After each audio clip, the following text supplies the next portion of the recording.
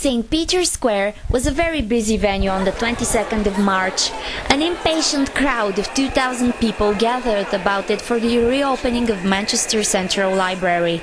The library has been closed for the past four years due to a renovation scheme undertaken by Manchester City Council. The 48 million pound restoration project has improved the library in many different ways. Here is what local residents thought of their new library.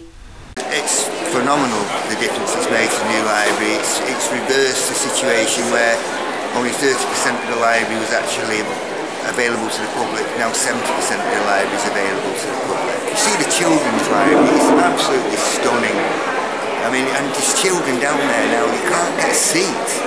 They're all on the couches, you just can't get in the children's library. It's that brilliant. I think it's really good and interesting and peaceful.